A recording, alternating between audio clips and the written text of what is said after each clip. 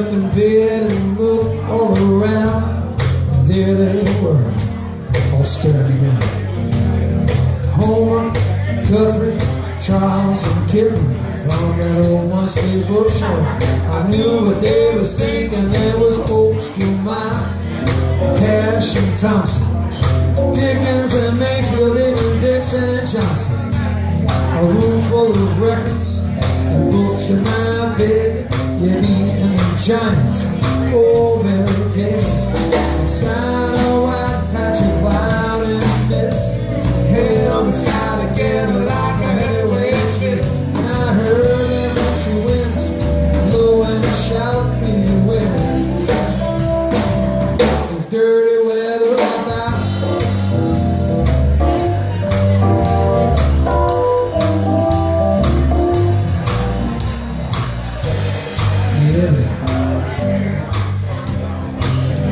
Conrad Poe front of my dark, dark heart. Steve on cracked wise with a smart ass remark. Poe opened up his opium pipe. Miles Davis spat you right like some old white hillbilly type. One by one they turned on me. And I didn't ask why. It was obvious to see. One by one giants.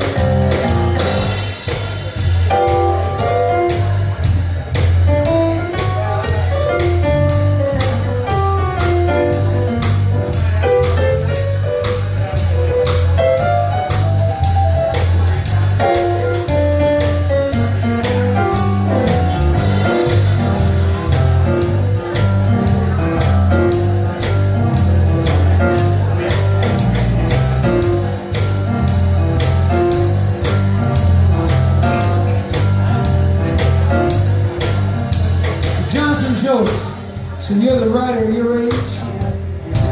Lenin cut deepest, a prophet and a sage.